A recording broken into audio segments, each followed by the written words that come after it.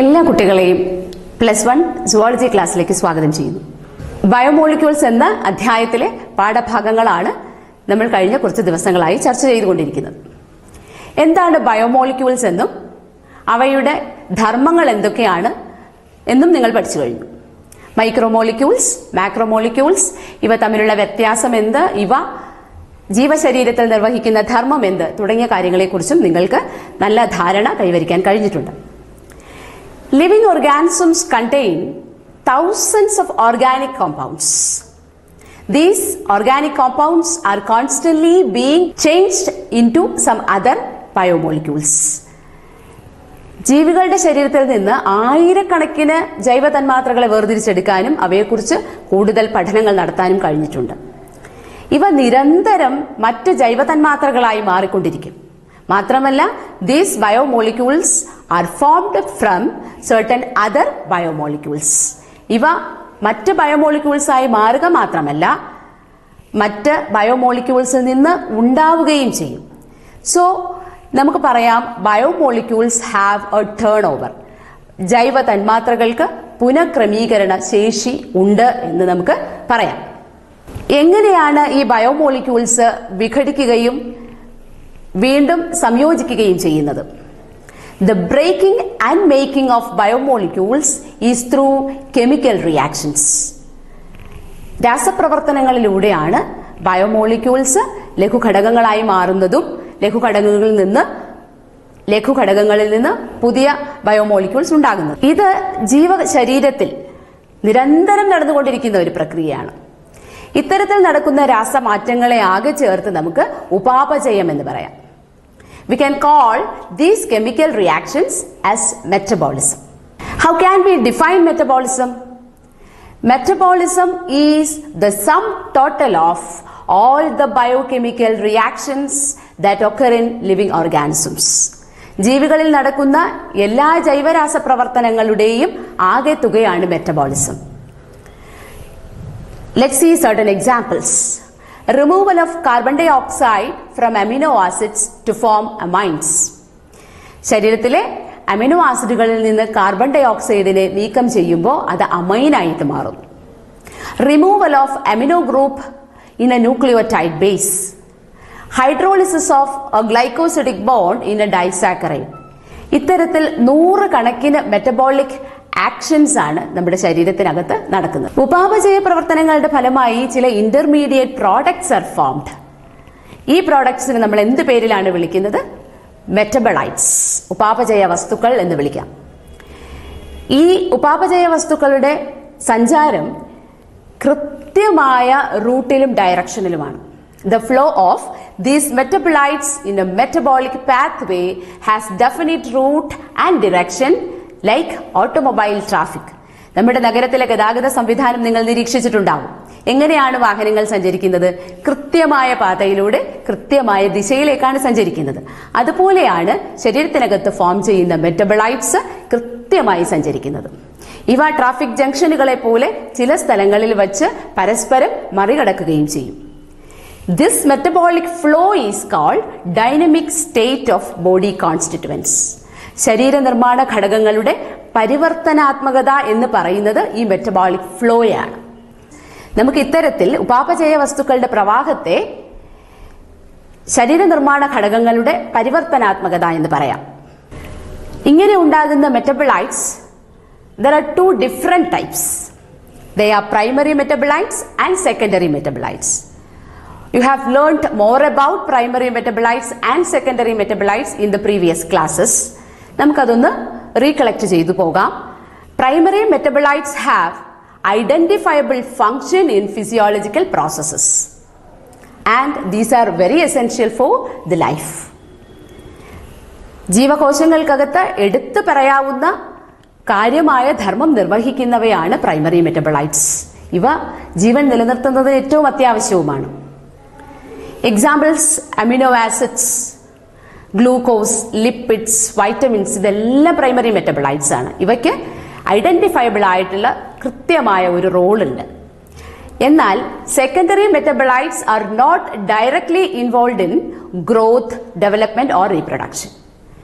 വളർച്ചയിലോ പ്രത്യുൽപാദനത്തിലോ ഒന്നും തന്നെ എടുത്തു പറയാവുന്ന അല്ലെങ്കിൽ നേരിട്ടുള്ള ഒരു ധർമ്മം നിർവഹിക്കാനില്ലാത്തവയാണ് secondary metabolites.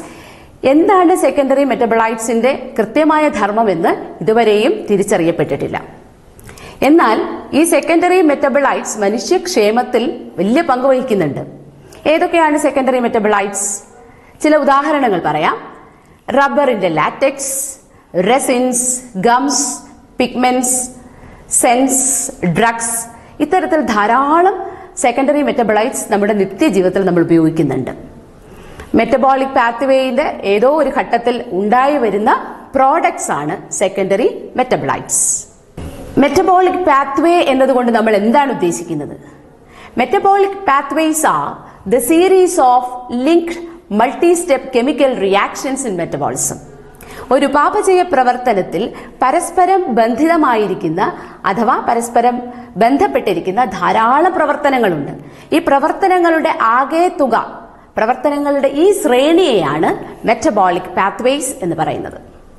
There are two types of metabolic pathways anabolic pathways and catabolic pathways എന്താണ് anabolic pathways in anabolic pathways simpler molecules unite form complex molecules ലഘുഘടനയുള്ള തന്മാത്രകൾ കൂടിച്ചേർന്ന് സങ്കീർണ ഘടനയുള്ള തന്മാത്രകളായി മാറുന്ന പ്രവർത്തനമാണ് anabolism. ഉപചയം this is a constructive process അവിടെ ലഘുതന്മാത്രകൾ ചേർന്ന് ഒരു പുതിയ മോളിക്യൂൾ കൺസ്ട്രക്ട് ചെയ്യപ്പെടുകയാണ്. ഈ പ്രക്രിയയ്ക്ക് എനർജി ആവശ്യമുണ്ട്. അനബോളിക് പാത്വേസ് റിക്വയർ എനർജി ചില examples the formation of cholesterol from acetic acid is an anabolic reaction അതുപോലെ പ്രപഞ്ചത്തിലെ ഏറ്റവും വലിയ ഏറ്റവും പ്രധാനപ്പെട്ട ഒരു അനബോളിക് റിയാക്ഷനാണ് ഫോട്ടോസിന്തസിസ് കാർബൺ ഡൈ ഓക്സൈഡ് ജലം എന്നിവ ഉപയോഗിച്ച് സൂര്യപ്രകാശത്തിന്റെ സാന്നിധ്യത്തിൽ ക്ലോറോഫിലിന്റെ സഹായത്തോടെ സസ്യങ്ങൾ ആഹാരം പാകം ചെയ്യുന്നതാണ് ഏറ്റവും വലിയ anabolic reaction now catabolic pathways catabolic pathways ഇതിന്റെ നേരെ കോൺട്രഡിക്ടറി ആയിട്ടുള്ള ഒരു കോൺസെപ്റ്റ് ആണ്.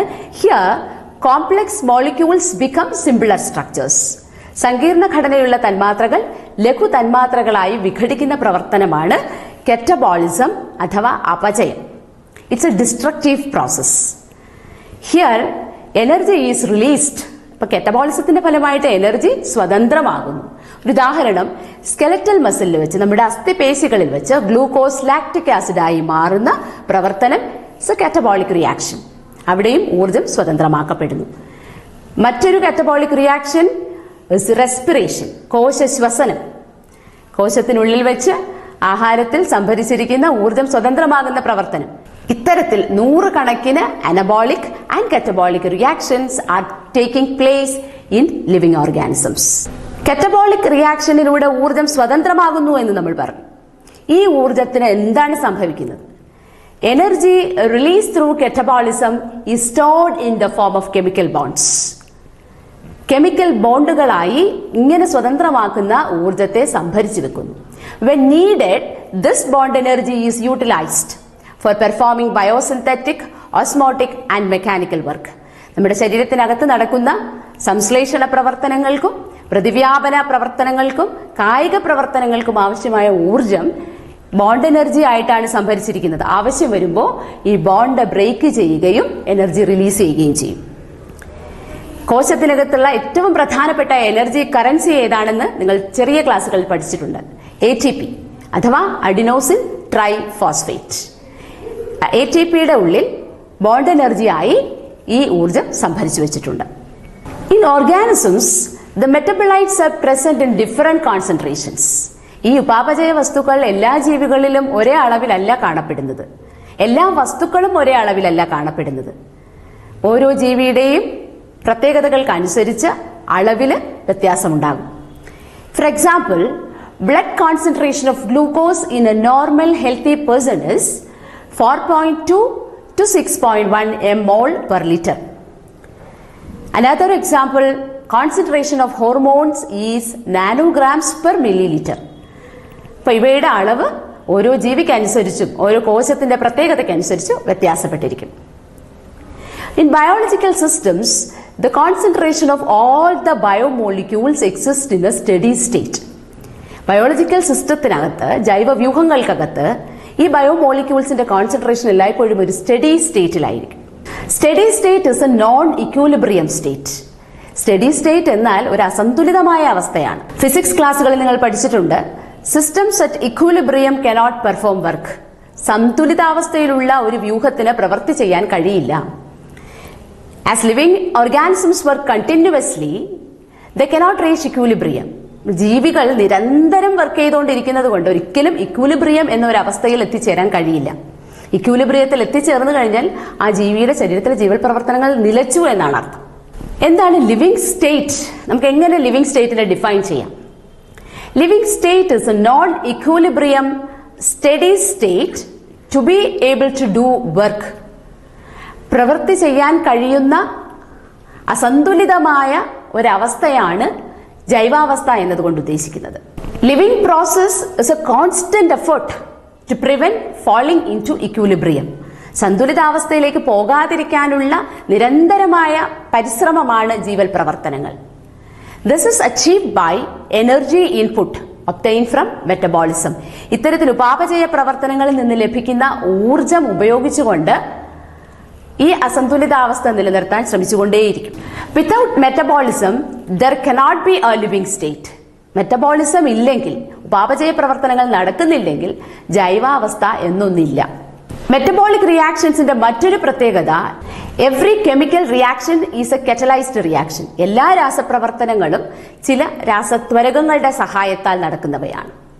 There is no uncatalysed reaction or no uncatalysed metabolic conversions in living systems ജൈവ വ്യവസ്ഥയിൽ കാറ്റലിസ്റ്റിന്റെ സഹായമില്ലാതെ നടക്കുന്ന പ്രവർത്തനങ്ങൾ ഇല്ല എന്ന് തന്നെ പറയാം.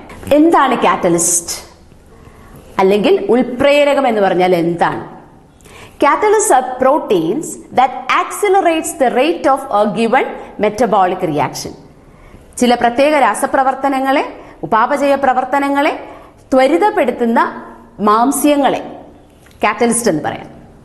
Catalyst proteins that accelerates the rate of given metabolic reactions these proteins with catalytic power are called enzymes ഇങ്ങനെ രാസപ്രവർത്തനങ്ങളെ ത്വരിതപ്പെടുത്താൻ ശേഷിയുള്ള പ്രോട്ടീനുകളെ എൻസൈമുകൾ എന്ന് വിളിക്കാം. We can call these proteins with catalytic power as enzymes എൻസൈമുകളെ കുറിച്ച് കുറച്ച് കാര്യങ്ങൾ പഠിക്കാനുണ്ട്.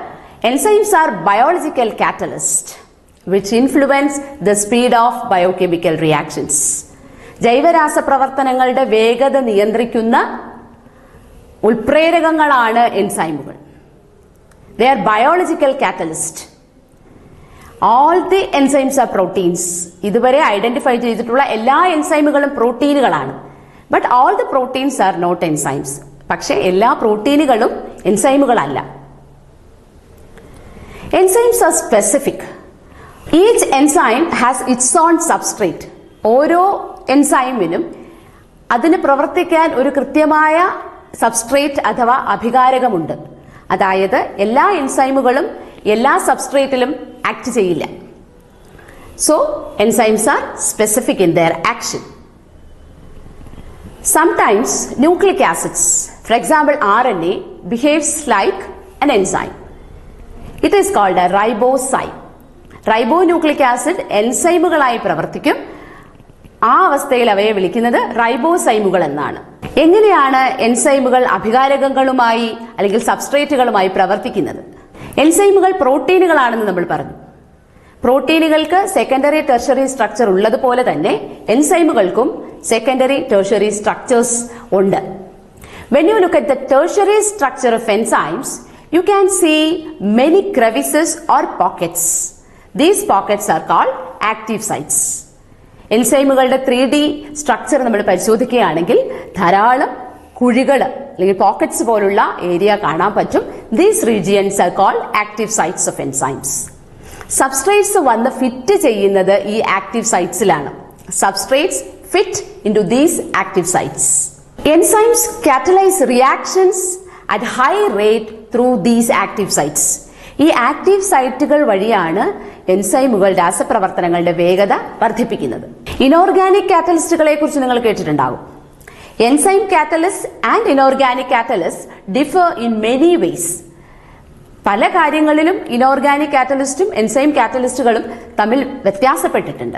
Inorganic catalyst work efficiently at high temperatures and high pressures inorganic കാറ്റലിസ്റ്റിന് ഉയർന്ന താപനിലയിലും ഉയർന്ന മർദ്ദത്തിലും വളരെ നന്നായി കാര്യക്ഷമമായി പ്രവർത്തിക്കാൻ കഴിയും.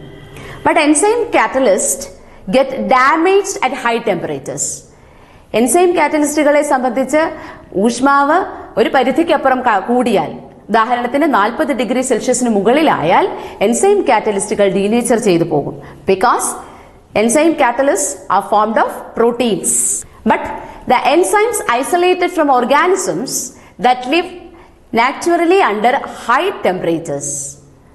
For example, in hot vents and sulfur springs show thermal stability. സാധാരണഗതിയിൽ എൻസൈം കാറ്റലിസ്റ്റ് നാൽപ്പത് ഡിഗ്രി സെൽഷ്യസിന് മുകളിൽ ഡീനേച്ചർ ചെയ്തു പോകുമെങ്കിലും ഉഷ്ണ നീരുറവകളിലും സൾഫർ സ്പ്രിങ്സ് ഗന്ധക ഉറവകളിലും കാണപ്പെടുന്ന ബാക്ടീരിയകളുടെ ശരീരത്തിൽ നിന്ന് വേർതിരിച്ചെടുക്കുന്ന എൻസൈമുകൾ വളരെ ഉയർന്ന ടെമ്പറേച്ചറിലും നന്നായി പ്രവർത്തിക്കുന്നതായി പഠനങ്ങൾ തെളിയിക്കുന്നു. Chemical compounds undergo two types of reactions നമ്മൾ ഇതുവരെ പറഞ്ഞു കെമിക്കൽ റിയാക്ഷൻസിനെ കുറിച്ചാണ്. ഇവ വ്യത്യസ്ത തരം രാസപ്രവർത്തനങ്ങളിലൂടെ കടന്നു പോകുന്നു എന്താണ് കെമിക്കൽ റിയാക്ഷൻസ് രണ്ട് തരം റിയാക്ഷൻസ് ഉണ്ട്. Chemical compounds undergo two types of reactions രണ്ട് തരം മാറ്റങ്ങളിലൂടെയാണ് രാസസംയുക്തങ്ങൾക്ക് കടന്നു പോകേണ്ടത് സാധാരണയായി രാസസംയുക്തങ്ങൾ രണ്ട് തരം മാറ്റങ്ങൾ കാണിക്കുന്നു. They physical change and chemical change physical change is a change in shape or state of matter without breaking bonds തന്മാത്രകൾക്കിടയിലുള്ള ബന്ധനങ്ങൾക്ക് യാതൊരു വിഘടനവും സംഭവിക്കാതെ ആകൃതിയിലോ ദ്രവ്യത്തിന്റെ അവസ്ഥയിലോ മാറ്റം ഉണ്ടാകുന്നതിനെയാണ് ഫിസിക്കൽ ചേഞ്ച് എന്ന് പറയുന്നത്. ഒരു ഉദാഹരണം melting of ice into water ice ഉരുകി ജലമായി മാറുന്നത്. വാട്ടർ വേപ്പറായി മാറുന്നത്. ഇവിടെ മോളിക്യൂൾസിനിടയിലുള്ള ബോണ്ടിന് വിഘടനം സംഭവിക്കുന്നില്ല. മറിച്ച് രൂപം മാത്രമാണ് മാറുന്നത്. But in chemical change bonds broken and new bonds are formed തന്മാത്രകൾക്കിടയിലുള്ള bonds break ചെയ്ത പുതിയ തന്മാത്രകൾ ഉണ്ടാവുകയാണ് ചെയ്യുന്നത്. പുതിയ ബോൺസ് ഫോം ചെയ്യുന്നുണ്ട്. There are organic chemical reactions and inorganic chemical reactions രണ്ട് തരത്തിലുള്ള കെമിക്കൽ റിയാക്ഷൻസ് ഉണ്ട്. ഓർഗാനിക് കെമിക്കൽ റിയാക്ഷൻസിന് ഒരു എക്സാമ്പിൾ നമ്മൾ പറയുകയാണെങ്കിൽ the conversion of starch into glucose സ്ക്രീനിലേക്ക് നോക്കൂ. ഓർഗാനിക് കെമിക്കൽ റിയാക്ഷന്റെയും ഇനോർഗാനിക് കെമിക്കൽ റിയാക്ഷന്റെയും ഓരോ ഉദാഹരണങ്ങൾ കാണിച്ചിട്ടുണ്ട്. Inorganic chemical reaction barium hydroxide reacts with sulfuric acid to form barium sulfate and water. Physical changes and chemical changes are observed among biomolecules. Now, let's discuss the rate of a chemical reaction. രാസപ്രവർത്തന നിരക്ക് എന്നാൽ എന്താണ് of a chemical reaction is the amount of product formed in unit time ഒരു നിശ്ചിത സമയത്തിൽ രൂപം കൊള്ളുന്ന ഉൽപ്പന്നത്തിന്റെ അളവിനെയാണ് രാസപ്രവർത്തനത്തിന്റെ നിരക്ക് എന്നതുകൊണ്ട് ഉദ്ദേശിക്കുന്നത്. Rate delta P by delta T unit ടൈമിൽ ഉണ്ടാകുന്ന പ്രോഡക്റ്റിന്റെ അളവിനെയാണ് റേറ്റ് ഓഫ് കെമിക്കൽ റിയാക്ഷൻ എന്ന് പറയുന്നത്. രാസപ്രവർത്തനത്തിന്റെ ദിശ സൂചിപ്പിക്കുകയാണെങ്കിൽ rate is also called velocity rate of physical or chemical reactions are influenced by factors as temperature physical and chemical reactions രണ്ടിനെയും ധാരാളം ഘടകങ്ങൾ സ്വാധീനിക്കുന്നുണ്ട്. അതിനൊരു ഉദാഹരണം താപനില എങ്ങനെയാണ് രാസപ്രവർത്തന വേഗതയെ നിയന്ത്രിക്കുന്നതെന്ന് നോക്കാം. When temperature increases by ten degree Celsius rate of reaction doubles ഒരു രാസപ്രവർത്തനത്തിൽ പത്ത് ഡിഗ്രി സെൽഷ്യസ് ഊഷ്മാവ് ഉയർത്തുകയാണെങ്കിൽ rate of reaction ഇരട്ടിയാകും. When it is decreased by ten degree Celsius rate of reaction decreases by half താപനില പത്ത് ഡിഗ്രി സെൽഷ്യസ് കുറയ്ക്കുമ്പോൾ rate of reaction പകുതിയായി കുറയും. Rate of enzyme catalyse reaction is very high എൻസൈമുകളുടെ സഹായത്താൽ രാസപ്രവർത്തന വേഗത വർദ്ധിക്കുന്ന പ്രവർത്തനങ്ങളുണ്ട്. എൻസൈമുകൾ അത്ഭുതാവഹമായ രീതിയിലാണ് രാസപ്രവർത്തനങ്ങളുടെ വേഗത വർദ്ധിപ്പിക്കുന്നത്. ഒരു ഉദാഹരണം നമുക്ക് നോക്കിയാൽ അത് മനസ്സിലാകും. കാർബൺ ഡൈ ഓക്സൈഡ് ജലവുമായി ചേർന്ന് കാർബോണിക് ആസിഡ് ഉണ്ടാകുന്ന ഒരു പ്രവർത്തനം സ്ക്രീനിൽ നിങ്ങൾക്ക് കാണാം. This reaction is catalysed by an enzyme carbonic anhydrase carbonic anhydrase എന്ന ഒരു എൻസൈമാണ് ഈ പ്രവർത്തനത്തെ ആക്സിലറേറ്റ് ചെയ്യുന്നത്. It accelerates the reaction rate by about ten million times പത്ത് മില്യൺ മടങ്ങായിട്ടാണ് കാർബോണിക് ആൻഹൈഡ്രേസ് ഈ രാസപ്രവർത്തനത്തിന്റെ വേഗത വർദ്ധിപ്പിക്കുന്നത്. In the absence of carbonic anhydrase only 200 molecules of H2CO3 are formed in an hour. നോക്കൂ കാർബോണിക് add ആഡ് ചെയ്യാതെ നടക്കുന്ന പ്രവർത്തനത്തിൽ ഒരു മണിക്കൂറിൽ വെറും ഇരുന്നൂറ് തന്മാത്രകളാണ് ഉണ്ടാകുന്നത് only 200 molecules of carbonic acid are formed. In the presence of carbonic anhydrase enzyme, about 6 lakhs molecules are formed per second. Carbonic anhydrase ഈ സിസ്റ്റത്തിലേക്ക് ആഡ് ചെയ്യുമ്പോൾ ഒരു സെക്കൻഡിൽ ആറ് ലക്ഷം കാർബോണിക് ആസിഡ് തന്മാത്രകൾ ഉണ്ടാകുന്നു. അപ്പൊ എങ്ങനെയാണ് എൻസൈമുകൾ ഒരു രാസപ്രവർത്തനത്തെ ആക്സിലറേറ്റ് ചെയ്യുന്നതെന്ന് ഈ ഒരൊറ്റ ഉദാഹരണത്തിലൂടെ നമുക്ക് മനസ്സിലാക്കാൻ കഴിയും. In metabolic pathway each step is catalysed by different enzymes നേരത്തെ നമ്മൾ ഡിസ്കസ് ചെയ്ത ഒരു കാര്യം ഒരു മെറ്റബോളിക് പാത്വേ എന്ന് പറഞ്ഞാൽ ഒന്നിലധികം പ്രവർത്തനങ്ങൾ ഉൾപ്പെട്ടിട്ടുള്ള ഒരു പ്രവർത്തന ശ്രേണിയാണ്. ഈ മെറ്റബോളിക് പാത്വേയിൽ ഓരോ ഘട്ടത്തെയും കാറ്റലൈസ് ചെയ്യുന്നത് ഒരു എൻസൈമാണ് ഒരു ഉദാഹരണം പറയുകയാണെങ്കിൽ in glycolysis ten different enzymes are there glycolysis is the process of conversion of glucose into pyruvic acid glucose pyruvic ആസിഡായി മാറുന്ന പ്രവർത്തനത്തെയാണ് ഗ്ലൈക്കോലിസിസ് എന്ന് പറയുന്നത്. ഈ ഗ്ലൈക്കോളിസിസിൽ പത്ത് വ്യത്യസ്ത എൻസൈമുകളാണ് ഉൾപ്പെട്ടിട്ടുള്ളത്. ഗ്ലൈക്കോളിസിസിന്റെ ഓരോ ഘട്ടത്തെയും ത്വരിതപ്പെടുത്തുന്നത് ഓരോ എൻസൈമുകളാണ്. ഗ്ലൈക്കോളിസിസിന്റെ വിശദാംശങ്ങൾ റെസ്പിറേഷൻ എന്ന ചാപ്റ്ററിൽ നിങ്ങൾക്ക് പഠിക്കാനുണ്ട്. അതുകൊണ്ട് തന്നെ റെസ്പിറേഷന്റെ കൂടുതൽ വിവരങ്ങൾ നമ്മൾ ഇന്ന് ഇവിടെ ചർച്ച ചെയ്യുന്നില്ല. ഇതുവരെ പഠിച്ച പാഠഭാഗങ്ങളിൽ നിന്ന് ലഭിച്ച വിവരങ്ങൾ വെച്ചുകൊണ്ട് ഒരു അസൈൻമെന്റ് പൂർത്തിയാക്കാൻ ശ്രമിക്കാം. സ്ക്രീനിലേക്ക് നോക്കൂ. Anabolic pathways and metabolic pathways രണ്ട് കോളംസ് ആണ് കാണിച്ചിരിക്കുന്നത്. Find out more examples for anabolic pathways and catabolic pathways പൂർത്തിയാക്കി നിങ്ങളുടെ ടീച്ചറുമായിട്ട് ഡിസ്കസ് ചെയ്യാം. ഇന്നത്തെ ക്ലാസ് അവസാനിപ്പിക്കാനുള്ള സമയമായി. തുടർന്നുള്ള ഭാഗങ്ങളുമായി നമുക്ക് അടുത്ത ക്ലാസ്സിൽ വീണ്ടും കാണാം. താങ്ക്